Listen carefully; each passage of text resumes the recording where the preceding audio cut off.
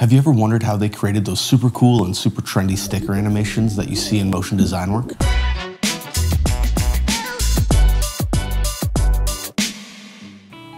Hey everyone and welcome back to the channel. My name is Corey from CNUS Media and today we're going to be doing something a little different.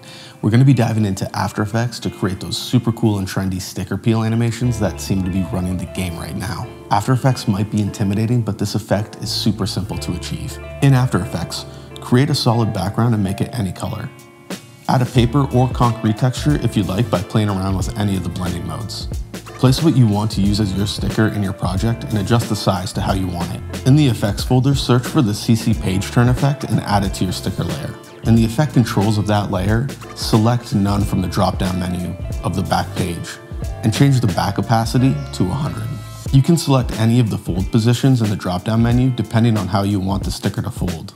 Move the pin to the top of your sticker and create a keyframe.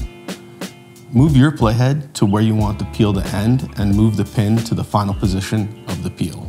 And that's the basic sticker peel animation. But let's do a little more. Create a new text layer and type whatever works for your project. Place the text layer under the sticker layer and watch it reveal itself. Another pretty cool animation you can do with this sticker effect is instead of it revealing something, you could have it half peeled blowing in the wind. In your effect controls, adjust the pin to stay stationary in a quarter peeled position. Hold the option and click the stopwatch in the fold position and type in wiggle bracket 5-20 bracket and now watch it blow in the wind. You've now just created the super trendy sticker peel animation and it is looking spicy. If you learned anything new from today's video, please like, comment, and subscribe as I'll be releasing some new videos in the near future. And as always, I'll catch you in the next one.